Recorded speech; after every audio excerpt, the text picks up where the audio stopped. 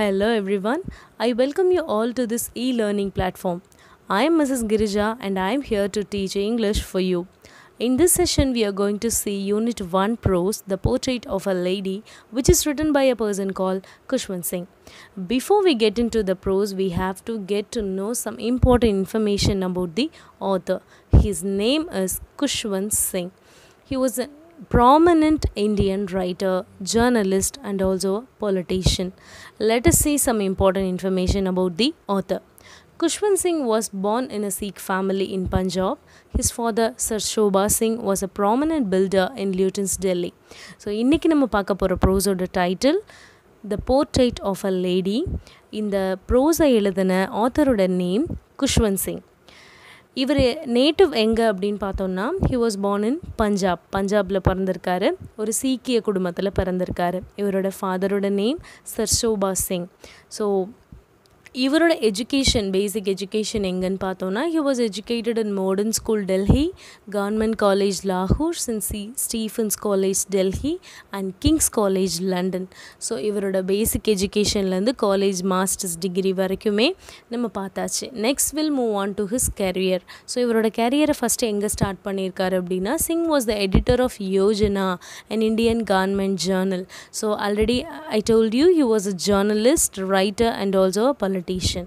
The Illustrated Weekly of India and two major Indian newspapers, the National Herald and the Hindustan Times. So, as we have already known, uh, the National Herald, Hindustan Times இது எல்லாமே famous நியூஸ்பேப்பர்ஸில் ஒன்று நமக்கு தெரியும் நம்ம கேள்விப்பட்டிருப்போம் so he began his career he began his career as the editor of a newspaper so newspaper எடிட்டராக ஒரு ஜேர்னலிஸ்ட்டாக வந்து தன்னோட கெரியர் ஸ்டார்ட் பண்ணியிருக்காரு. And he has been honoured with several awards like the Rockefeller grant the Padma Bhushan the Padma Vibhushan and the Sahitya Akademi fellowship award so இந்தியாவிலே மிக உயரிய ரொம்ப உயர்வாக கருதப்படக்கூடிய நிறைய விருதுகள் வந்து இவர் இவருடைய நாவல் இவர் எழுதின ஷார்ட் ஸ்டோரிஸ்க்கும் நாவல்ஸுக்கும் வாங்கியிருக்காரு.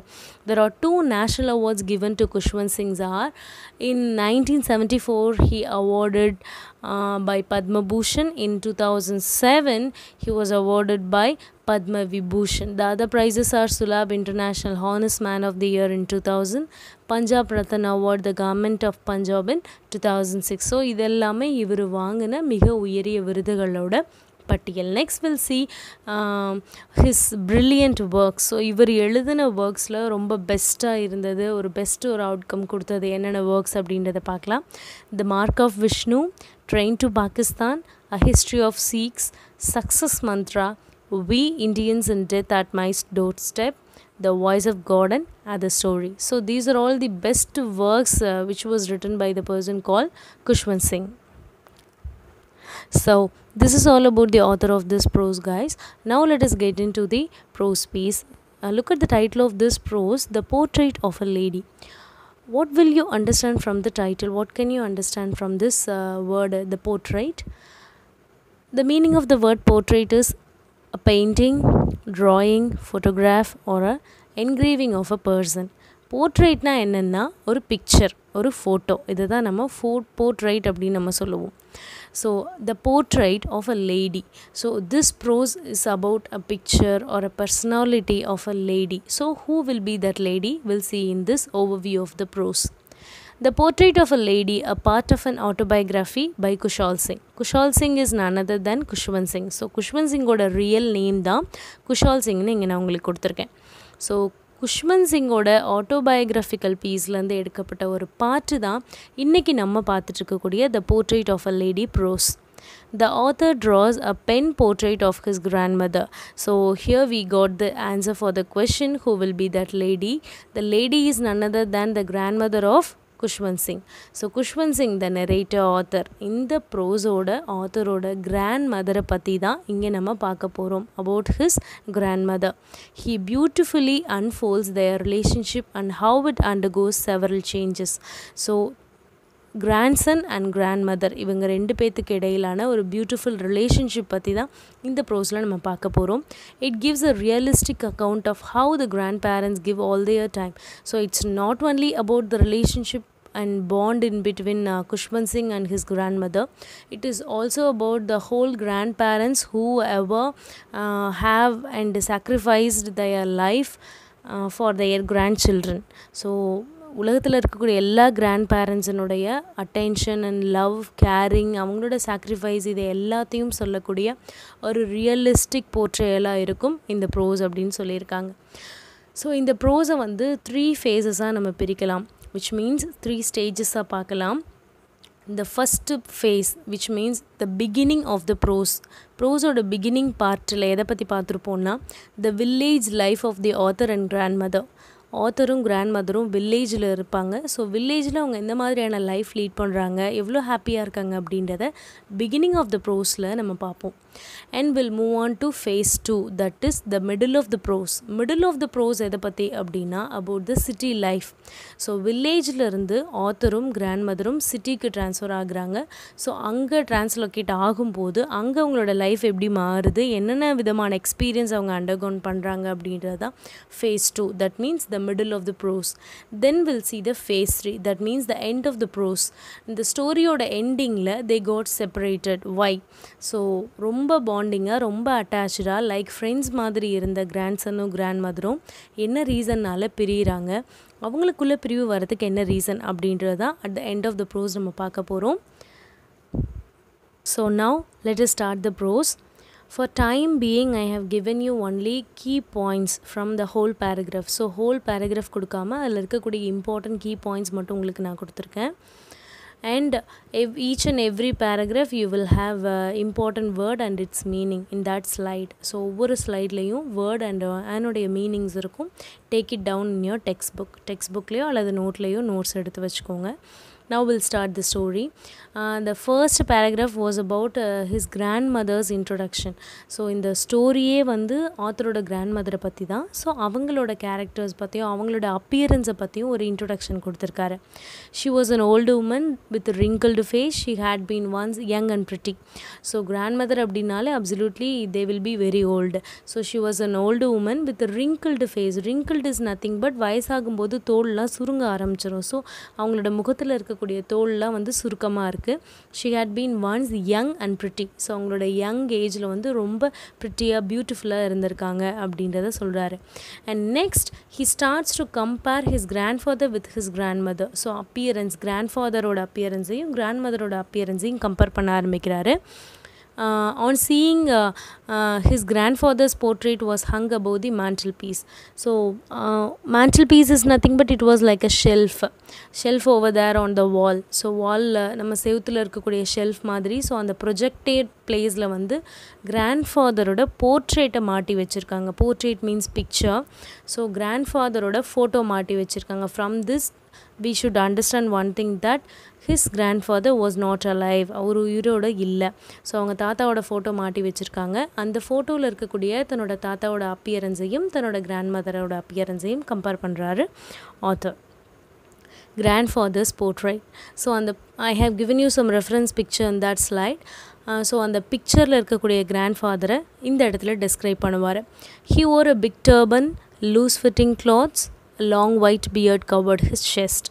He looked as if he was hundred years old and he had lots and lots of grandchildren so ஃபோட்டோவில் இருக்கக்கூடிய தன்னோட தாத்தா பார்க்கறதுக்கு எப்படி இருக்கார் அப்படின்னா ஹீ ஒரு big turban turban is nothing but அந்த காலத்தில் அந்த சிங் ஃபேமிலியில் இருக்கவங்க சீக்கியர்கள் வந்து மேக்ஸிமம் டர்பன் வந்து வேர் பண்ணியிருப்பாங்க எப்பயுமே. ஸோ அந்த மாதிரி ட்ரெடிஷ்னல் வேர் பண்ணியிருக்காரு. அதே மாதிரி loose fitting clothes is like pyjama pyjama மாதிரி லூஸ் ஃபிட்டிங் ட்ரெஸ் போட்டிருக்காரு. He had a long white beard so as he was very old he had a white beard and up to his chest so chest level வரைக்கும் long white beard வச்சுருக்காரு. And he looked as if he was hundred years old so நூறு வயசுக்கு மேலே ஆன மாதிரி ரொம்ப வயசான தோற்றத்தோடு இருக்கார். But the grandmother was young and pretty but he compares the appearance of his grandmother and grandfather so when we compared uh, both of their appearance his grandmother was very pretty and young so அவங்க தாத்தாவை விட பாட்டி வந்து ரொம்ப young and ப்ரிட்டியாக இருக்காங்க அப்படின்னு சொல்கிறாரு she used to tell the author some tell author some absurd fables. Absurd fables is nothing but uh, அந்த காலத்தில் நம்மளோட பாட்டி வந்து நிறைய கதைகள் நமக்கு சொல்லியிருக்காங்க நம்ம கேட்டிருக்கோம். ஸோ அந்த மாதிரி நாட்டுப்புற கதைகளாகட்டும் இல்லை சாதாரணமாக வந்து மக்களுக்குள்ளே இருக்கக்கூடிய கதைகளாகட்டும் மாரல் ஸ்டோரிஸ் ஆகட்டும் இந்த மாதிரி நிறைய அவங்களுக்கு தெரிஞ்ச ஸ்டோரிஸையும் அவங்க லைஃப்பில் நடந்த எக்ஸ்பீரியன்ஸையும் ஆத்தருக்கு அடிக்கடி ஷேர் பண்ணுறாங்க so this is all about the first paragraph and I have given you some important words and its meanings இந்த that slide take it down then we'll move on to paragraph number 2 second paragraphல என்ன பார்க்கலாம். So second paragraph is about the appearance the appearance of the grandmother so grand மதரோட அப்பியரன்ஸையும் grand மதரோட attitude பற்றியும் சொல்லியிருப்பார். She was short fat and slightly bent so grandmother பார்க்க ரொம்ப ஷார்ட்டாக இருப்பாங்க ஃபேட்டாக இருப்பாங்க slightly bent bent here refers to her stoop so கொஞ்சம் கூன் விழுந்த மாதிரி கொஞ்சம் பெண்டாகி இருப்பாங்க. Her face was with criss cross wrinkles we have seen already the meaning of the word wrinkles. Wrinkles is nothing but the age line. அந்த தோல் தோலில் வரக்கூடிய சுருக்கங்களை இங்கே ரிங்கிள்ஸ்னு சொல்லியிருக்காங்க. ஸோ அவங்களோட முகத்தில் கிறிஸ் கிராஸ் அங்கேயும் இங்கேயும் நிறைய சுருக்கங்களோடு இருக்கவங்களோட முகம். But she had never been pretty but always beautiful என்ன சொல்கிறாருன்னா அவங்களோட யங் யங் ஏஜில் ரொம்ப ப்ரிட்டியாக இருந்தாங்க. பட் தோ ஷி காட் வெரி ஓல்டு அவங்க இப்போ வயசில் வந்து ரொம்ப ஓல்டாக ரொம்ப முதுமையாக மாறினாலும் அவங்களோட தோற்றமும் அவங்களோட பொலிவும் இன்னும் அப்படியே தான் இருக்குது she will be always beautiful அப்படின்னு சொல்லி சொல்கிறாரு and then this is about her attitude daily attitude daily என்ன பண்ணுவாங்க? என்ன ரொட்டீன்ஸ் வேலை வந்து செய்கிறாங்க அவங்களோட ரொட்டீன் ஹேபிட்ஸ் என்ன அப்படின்றது இதில் சொல்லியிருப்பார். She hobbled around the house with spotless white dress so எப்பயுமே ஹாபிள்ட் அரவுண்ட் த ஹவுஸ் எப்பயுமே அந்த கிராண்ட் மதர் அவங்க அவரோட கிராண்ட் மதர் என்ன பண்ணுவாங்கன்னா hobbled hobbled is nothing but walked unsteadily சாஞ்சு சாஞ்சு ஒரு பக்கமாக சாஞ்சு தள்ளாடி தள்ளாடி நடக்கிறாங்க. வீட்டை சுற்றி சுற்றி நடந்துகிட்டே இருப்பாங்க. ஏதாவது ஒரு வேலை செஞ்சிட்ருப்பாங்க அண்ட் ஷீ ஒரு spotless white dress she had ஒரு எப்பயுமே வந்து அந்த காலத்தில் வந்து ஹஸ்பண்ட் இல்லாதவங்க வந்து ஒயிட் கலர் ட்ரெஸ் வேர் பண்ணியிருப்பாங்க. மேபி அந்த கஸ்டமாக கூட இருக்கலாம் இங்கே. So like that traditional custom she wore spotless white dress so white colour dress wear பண்ணியிருக்காங்க. I given you a reference picture there one hand in waist to balance her stoop as she had a stoop அவங்களுக்கு bent இருக்கிறதுனால அந்த கூன் இருக்கிறதுனால அதை pen balance பண்ணி நடக்கிறதுக்காக ஒரு கையை இடுப்பில் வச்சுட்டு நடந்துட்டுருப்பாங்க. The other hand with the beads of rosary rosary is nothing but நம்ம ஜபம் பண்ணுறதுக்கு யூஸ் பண்ணக்கூடிய ஜபமாலை. அந்த ஜபமாலை ஒரு கையில் வலது கையில் ஜபமாலையும் இடது கையை வந்து தன்னோட இடுப்பில் வச்சு பேலன்ஸ் பண்ணி நடந்துட்டுருப்பாங்க. Silver locks were scattered over face silver locks here represents hair silver which means grey colour hair அவங்களோட அந்த ஓல்ட் ஏஜ்ன்றதுனால ஒயிட் ஹேராக இருக்கும் இல்லையா அந்த சில்வர் பாலிஷ் அதை அந்த ஹேரை தான் இங்கே சில்வர் லாக்ஸ்னு கொடுத்துருக்காங்க. ஸோ அவங்களோட அந்த முடி வந்து ப்ராப்பராக கோம் பண்ணாமல் அங்கேயும் இங்கேயும் scatter ஆகிட்டுருக்கோம் lips murmured in an audible pray inaudible prayer inaudible is nothing but very silent murmur உள்ளுக்குள்ளே வந்து ரொம்ப சத்தமாக வந்து மந்திரங்கள் சொல்லாமல் ஏதாவது ஒரு மந்திரமோ இல்லை ஏதாவது ஒரு ஒரு காடை பற்றின ஏதாவது ஒரு விஷயங்கள் வந்து அவங்க வந்து வாயில் வந்து சொல்லிகிட்டே இருப்பாங்க. கடவுளை பற்றி ஏதாவது ஒரு பிரார்த்தனை வந்து பண்ணிகிட்டே இருப்பாங்க. She looked like a winter landscape mountain winter landscape mountain is nothing but இந்த பனி காலத்தில் இருக்கக்கூடிய மலை பிரதேசங்கள் பார்த்தோன்னா ரொம்ப ஒயிட்டாக செரினிட்டியாக காமாக பீஸ்ஃபுல்லாக இருக்கும் பார்க்குறதுக்கு ரொம்ப ஃப்ரெஷ்ஷாக இருக்கும் பார்க்கவே கண்ணுக்கு குளிர்ச்சியாக லைக் தட் அவங்களோட கிராண்ட் மதரும் அவங்களோட அப்பியரன்ஸும் கண்ணுக்கு குளிர்ச்சியாக இருக்குது ப்ளசண்ட்டான ஒரு அப்பியரன்ஸோடு இருக்காங்கன்னு சொல்கிறாங்க she is an epitome of peace and serenity as I told you earlier, epitome is nothing but an exact example. So, she was a perfect example for peace and serenity. ஒரு அவங்கள பார்த்தாலே ஒரு காம்னஸ் அவங்கக்கிட்ட இருக்கும் அப்படின்னு சொல்லி author feel பண்ணுறார் now will move on to the paragraph number three third பேராகிராஃபில் எதை பற்றி சொல்லியிருப்பாங்க அப்படின்னா the author's parents move to the city so this is the reason why the author was left with his grandmother எதனால் வந்து author which means Khushwant சிங்கை grand மதருக்கு கிட்ட வில்லேஜில் விட்டுட்டு போகிறாங்க அப்படின்றதுக்கான reason the author's parents move to the city so they left the author in the village so ஆத்தரோட parents in order to earn money so அவங்களோட job சம்மந்தமாகவோ இல்லை சம்பாதிக்க சம்பாதிக்கிறதுக்காகவோ வந்து சிட்டிக்கு போயிடுறாங்க.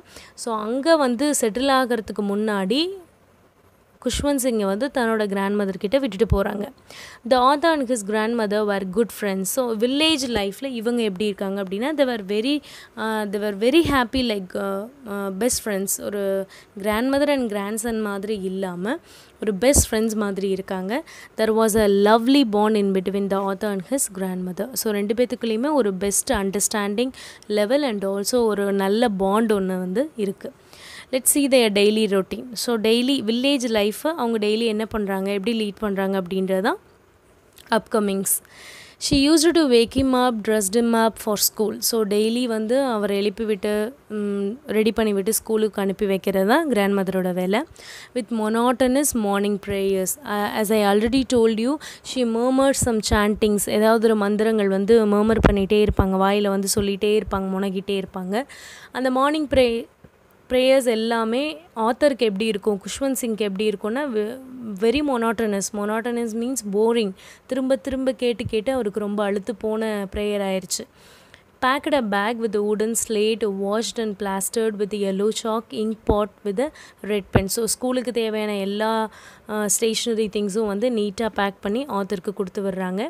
For breakfast they had thick and stale chapatis with a little butter and sugar so as we already know that north சைடில் வந்து அதிகமாக சப்பாத்தி வந்து பிரேக்ஃபாஸ்ட்டுக்கு அதிகமான ஒரு ஃபுட் ஹேபிட்டில் சப்பாத்தி வந்து அதிகமாக இருக்குது எப்படி நம்ம சைடு வந்து இட்லி தோசை மாதிரி.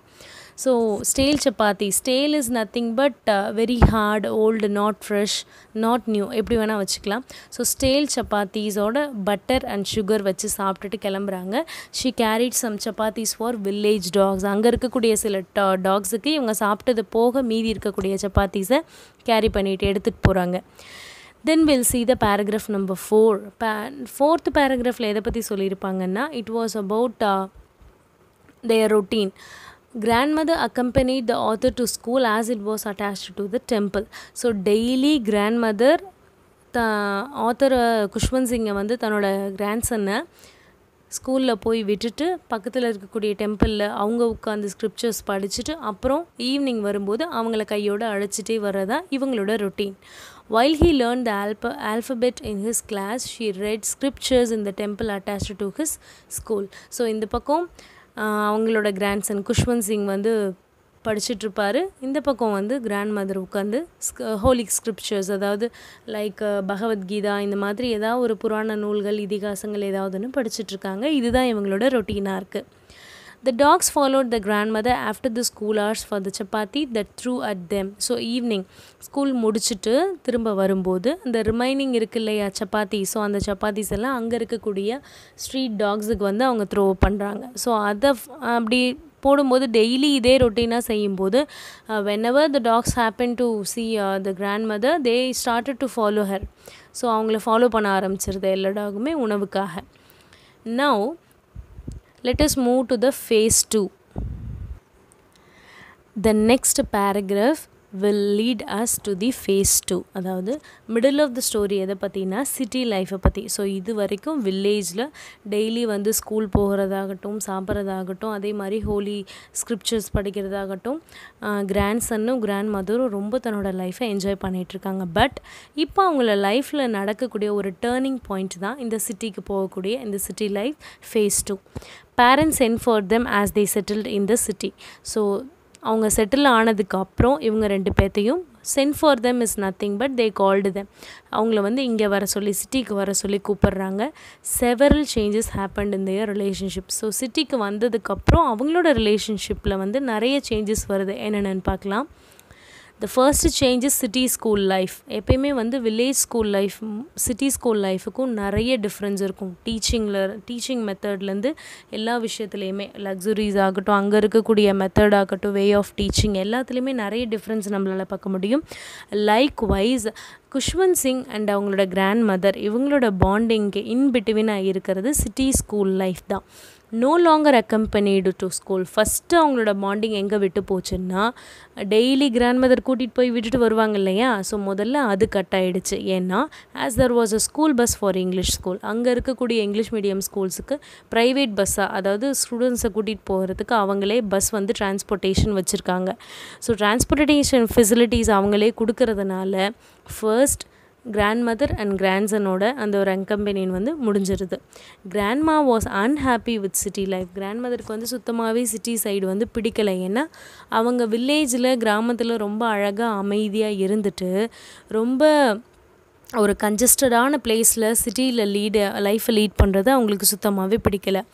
அண்ட் அதில் ஒன் ஆஃப் த ரீசன்ஸ் என்னென்னா no dogs in the streets and it was distressed and lonely அங்கே இருக்க மாதிரி ரொம்ப டெய்லி வந்து போயிட்டு இஷ்டப்பட்ட இடத்துக்கு ஃப்ரீயாக போயிட்டு ஃப்ரீயாக வர்றது அந்த மாதிரி ஒரு ஃப்ரீயான லைஃப் வந்து வில்லேஜில் இருக்க மாதிரி சிட்டியில் நமக்கு கிடைக்கிறதுக்கு வாய்ப்புகள் ரொம்ப ரொம்ப குறைவு. அதில் ஒன் ஆஃப் த ரீசன்ஸ் தான் no dogs in the streets so street dogs இல்லை வெளியே பேசுகிறதுக்கு ஆள் இல்லை எல்லோரும் அப்பார்ட்மெண்ட்ஸ் அந்த மாதிரி தனித்தனி வில்லாஸில் இருக்கிறதுனால ரொம்ப டிஸ்ட்ரெஸ்டாகவும் அதே மாதிரி லோன்லியாகவும் ஃபீல் பண்ணுறாங்க grandmother then years rolled by இப்படியே போகுது. Grandmother started to feed sparrows so இவங்க வந்து இங்கிலீஷ் மீடியம் ஸ்கூலுக்கு வந்து ஆத்தர் போக ஆரம்பிக்கிறாங்க. ஸோ இங்கே நடத்தக்கூடிய சப்ஜெக்ட்ஸ் ஆகட்டும் எல்லாமே கிராண்ட் மதரோட அண்டர்ஸ்டாண்டிங் லெவலுக்கு ரொம்ப அதிகமாக இருக்கும்.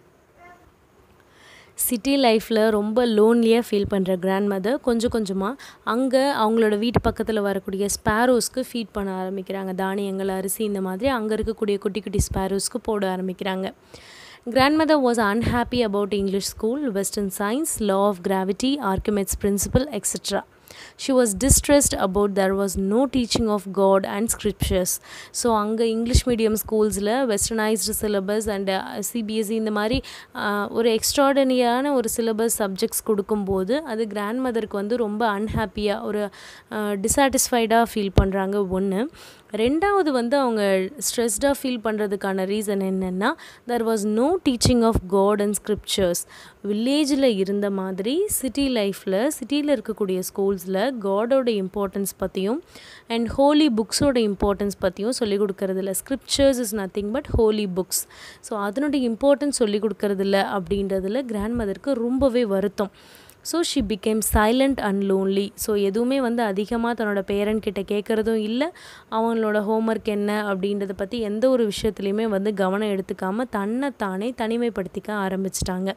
She secluded herself common relationship was snapped so கொஞ்சம் கொஞ்சமாக அவங்க ஸ்கூல் போகிறதுலேருந்து அந்த ஆத்தருக்கும் அவங்களோட கிராண்ட் மதருக்கும் இருந்த அந்த வில்லேஜ் லைஃப்பில் இருந்த பாண்டிங் கொஞ்சம் கொஞ்சமாக குறைய ஆரம்பிச்சிருச்சு.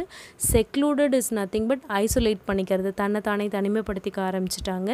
And common relationship in between the author and his grandmother was snapped snapped is nothing but cut broken so கொஞ்சம் கொஞ்சமாக அவங்களோட அந்த பாண்டிங் குறைய ஆரம்பிச்சிருச்சு. இந்த ரிமைனிங் போர் அடிக்கக்கூடிய நேரத்தில் இவங்க என்ன பண்ணுவாங்க? கிராண்ட் மதர் என்ன பண்ணுவாங்க அப்படின்னு பார்த்தோன்னா she use to spin her spinning wheel from sunrise to sunset so from the morning மார்னிங்கில் ஆரம்பித்து ஈவினிங் வரைக்குமே என்ன பண்ணுவாங்கன்னா ஸ்பின்னிங் வீல் அந்த ராட்டை சுற்றுவோம் இல்லையா அந்த காலத்தில்? ஸோ அந்த மாதிரி நூல் வந்து spin பண்ணிகிட்ருப்பாங்க and breaking the bread into little bit she threw it to sparrows அங்கே மதிய வேலையில் வரக்கூடிய ஸ்பேரோஸுக்கு குட்டி குட்டி பிரெட் பீசஸ் பிரெட் க்ரம்ஸ் எல்லாம் வந்து பிச்சு போடுவாங்க. ஸோ டெய்லி இவங்க இதை ரொட்டீனாக பண்ணுறதுனால எப்படி வந்து வில்லேஜில் வந்து அந்த டாக்ஸுக்கு வந்து ஸ்டெயில் சப்பாத்திஸ் ப்ரொவைட் பண்ணாங்களோ அதே மாதிரி இங்கே சிட்டியில் ஸ்பேரோஸ்க்கு வந்து அந்த பிரெட் க்ரம்ஸ் வந்து கொடுக்குறாங்க. ஸோ ரொட்டீனாக இது கொடுக்கறதுனால hundreds of sparrows surrounded her daily வந்து அவங்க போடக்கூடிய அந்த ப்ரெட்டுக்காக நிறைய ஸ்பேரோஸ் வந்து அந்த டைம் ஆனால் அவங்களோட வீட்டுக்கு வர ஆரம்பிச்சிருது. இந்த afternoon she used to feed the sparrows so at what time she used to feed அப்படின்னா இந்த ஆஃப்டர்நூன் ஆஃப்டர்நூன் டைமில் ஸ்பேரோஸ்க்கு ஃபீட் பண்ணுறாங்க the sparrows perched on her legs head and shoulders so daily ரொட்டீனாக வரதுனால ஸ்பேரோஸ் இவங்களை கண்டு பயப்படுறது கிடையாது. அவங்களோட தலையில் அவங்களோட மடியில் கையில் ஷோல்டரில் எல்லா இடத்துலையும் வந்து ஏறி உட்காந்துட்டு ரொம்ப சுதந்திரமாக வந்து ஸ்பேரோஸ் வந்து இவங்க கிட்ட ஃப்ரீடமாக வந்து பழக ஆரம்பிச்சிருச்சு. She smiled and never shooed them away shooed them away is nothing but துரத்துறது. Shoo அப்படின்னு துரத்துறோம் இல்லையா? லைக் தட் ஸோ என்ன தான் வந்து அந்த ஸ்பேரோஸ் வந்து மேலே ஏறி வந்தாலும் இரிட்டேட்டிங்காக ஃபீல் பண்ணாமல் அதை என்ஜாய் பண்ண ஆரம்பிச்சிட்டாங்க.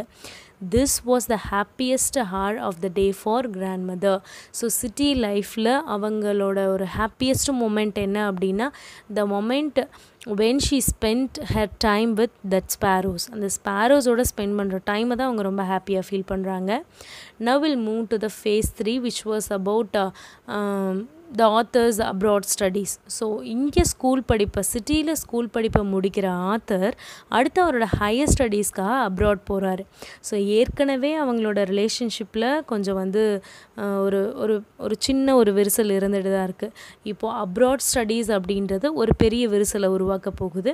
The grandmother was not sentimental did not talk to him or show any emotion though she was very sad about his abroad travel அவர் வந்து அப்ராட் போகிறாருன்னு சொன்னோடனே இவங்க சேடாயிடுறாங்க பட் இருந்தாலும் அதை வெளியே காமிச்சிக்கல. She sends off him at the railway station with an inaudible prayer so எப்பையும் போல் கையில் அந்த சாண்டிங் பீட்ஸை வச்சுட்டு இன்ஆடபிள் ப்ரேயரோட இவங்களை சந்தோஷமாக வழி அனுப்புறதுக்காக வராங்க ரயில்வே ஸ்டேஷனுக்கு ஓகே ஸோ இதுக்கப்புறம் இவங்களோட ரொட்டீன் என்னவா மாறும் அப்படின்னா அவங்க வீட்டுக்கு பக்கத்தில் இருக்கவங்களோட பேசுகிறது ப்ளஸ் அந்த ஸ்பேரோஸோட வந்து டைம் ஸ்பெண்ட் பண்ணுறது இப்படியே இவங்களோட லைஃப் வந்து போயிட்டுருக்கு. And after five years when he returned home அஞ்சு வருஷம் கழித்து தன்னோட ஹையர் ஸ்டடீஸ் முடிச்சுட்டு ஆத்தர் திரும்ப வராரு. அண்ட் த சேம் ரயில்வே ஸ்டேஷனில் தன்னோட கிராண்ட் மதர் வந்து ரிசீவ் பண்ணுறதுக்காக நிற்கிறாங்க ஆனால் she clasped him in her arms and recited prayers clasped is nothing but அணைச்சிக்கிறது in that picture so அந்த பிக்சரில் இருக்க மாதிரி தன்னோட பேரனை வந்து ரொம்ப வந்து கொஞ்சுறாங்க. அண்ட் ரிசைட்டட் ப்ரேயர்ஸ் ப்ரேயர்ஸ் சொல்லிகிட்டே இருக்காங்க. Even then her happiest moments were only with sparrows அவங்க பேரன் வீட்டுக்கு வந்த அன்னைக்கு கூட அவங்க ரொட்டீனாக எப்பயும் போல் அந்த ஸ்பேரோஸோட தான் தன்னோட டைம் ஸ்பெண்ட் பண்ணிகிட்ருக்காங்க then it was about paragraph ten one day evening she didn't pray so இப்படியே ரொட்டீனாக போக போக பே அந் அவங்களோட அந்த பேரன் வந்து நிறைய மாற்றங்களை வந்து கவனிக்கிறாரு. தன்னோட கிராண்ட் மதர் வந்து நிறைய மாறிட்டாங்க அப்படின்னு கவனிக்கிறாரு. ஒரு நாள் என்ன பண்ணுறாங்கன்னா ஷீ டிடன் ப்ரே அவர் வந்து ப்ரே பண்ணலை அவங்க. She gathered all the women of neighbourhood with old drums to sing அவங்க அக்கம் பக்கத்தில் இருக்கக்கூடிய நிறைய லேடிஸை கூப்பிட்டு உட்கார வச்சு ஒரு கேங்காக உட்காந்து ட்ரம்ஸை வந்து வாசிச்சுட்டு பாட ஆரம்பிக்கிறாங்க. She sang of the homecoming warriors so homecoming warriors பற்றி ஒரு பாட்டு வந்து பாடுறாங்க. அடுத்தவங்களும் அது எல்லாமே வந்து என்ஜாய் பண்ணி கேட்டுட்ருக்காங்க. She never missed her prayer before this so இதுக்கு முன்னாடி அவங்க டெய்லி அந்த ப்ரே பண்ணுறதையும் அந்த பீட்ஸ் வந்து சேன் பண்ணுறதையும் மிஸ் பண்ணதே கிடையாது. ஸோ என்றைக்கும் இல்லாமல் அன்னைக்கு மட்டும் ஈவினிங் டைமில் எல்லாரையும் கூப்பிட்டு வச்சு ட்ரம்ஸ் பா அடிச்சுட்டு வாசிச்சுட்டு வந்து அவங்க உட்காந்துட்ருக்காங்க இது ரொம்ப டிஃப்ரெண்ட்டாக இருக்குது in that evening a change came over her so எல்லாருமே கவனிக்கிறாங்க. ஒரு மாதிரி ஒரு ஒரு டிஃப்ரெண்ட் uh, ஒரு பர்சனாலிட்டியாக அவங்க வந்து காணப்படுறாங்க. இது யாராலையுமே நம்ப முடியல. But next morning she was ill with mild fever அடுத்த நாள் மார்னிங்கே அவங்களுக்கு மைல்டாக ஃபீவர் வந்திருக்கு. She thought her end was near எப்பயுமே வந்து பெரியவங்களுக்கு சில விஷயங்கள் வந்து தெரியும் புரியும் அப்படின்னு நம்ம சொல்லுவோம். லைக் தட் இவங்க இந்த கிராண்ட் மதர் என்ன சொல்கிறாங்க அப்படின்னா நான் ரொம்ப நாள் உயிரோடு இருக்க மாட்டேன் அப்படின்னு சொல்லி சொல்கிறாங்க she was not talking to anyone யார்கிட்டையுமே அதிகமாக பேசலை. அவங்க ரூம்லேயே இருக்காங்க. பட் இவங்க சொன்னதுக்கு அவங்க ஃபேமிலி மெம்பர்ஸ் எல்லாருமே அப்போஸ் பண்ணுறாங்க அப்படிலாம் இல்லை. It was just a fever இது ஒரு மைல்டு ஃபீவர் தான். You will get it off rid of it soon நீங்கள் சீக்கிரம் வந்து ரெக்கவர் ஆகி வந்துடுவீங்க அப்படின்னு சொல்கிறாங்க but she never believed in it she laid on the bed so உடம்பு முடியாமல் படுத்திருக்காங்க. சடன்லி அவங்க எப்பயுமே வந்து கையில் இருக்கக்கூடிய அந்த சாண்டிங் பீட்ஸை வந்து மூவ் பண்ணிகிட்டே இருப்பாங்க. ப்ரேயர்ஸ் சொல்லிகிட்டே இருப்பாங்க. ஆனால் சடன்லி ஹர் லிப் ஸ்டாப்டு அவங்களோட முணுமுணுக்கிற அந்த உடன் நின்றுச்சு. Rosary in her hand and fell down so அவங்க கையில் இருக்கக்கூடிய ரோசரி அந்த ஜெப மாலை இருக்கு இல்லையா? அது திடீர்னு கீழே விழுந்துருது. Paler spread on her face paler is nothing but pale appearance அவங்களோட முகம் வந்து வெளிரி போயிருச்சு. By which means she was dead அவங்க இறந்துடுறாங்க திடீர்னு. The end of the part அதாவது இந்த பா ப்ரோஸ் பார்ட்டினுடைய எண்டு எதை பற்றி அப்படின்னா இவங்களோட டெத்தை இவங்களோட லைஃபோட எண்டிங்கை பற்றி தான் சொல்லியிருப்பாங்க.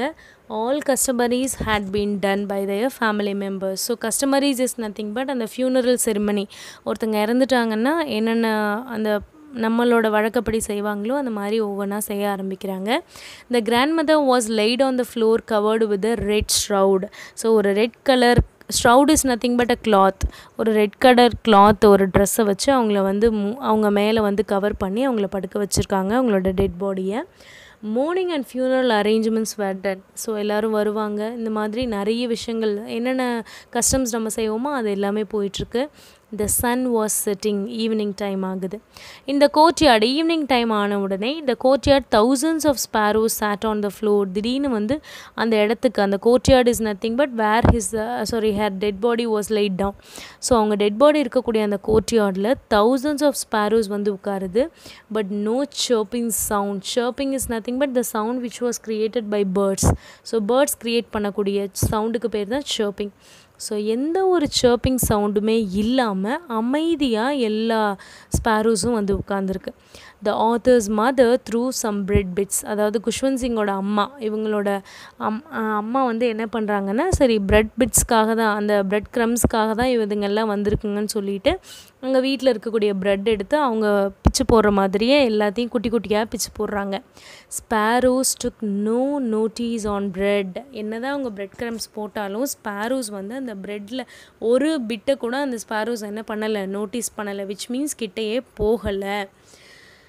And when they carried the caps off they flew away quietly அமைதியாக வந்து அந்த ஸ்பேரோஸ் உட்காந்துருன்ட்டு அந்த டெட் பாடியை எடுத்துகிட்டு போன உடனே அவங்க அந்த வீட்டை விட்டு டெட் பாடியை எடுத்துகிட்டு போன உடனே அமைதியாக எல்லா ஸ்பேரோஸும் பறந்து போக ஆரம்பிச்சிருச்சு.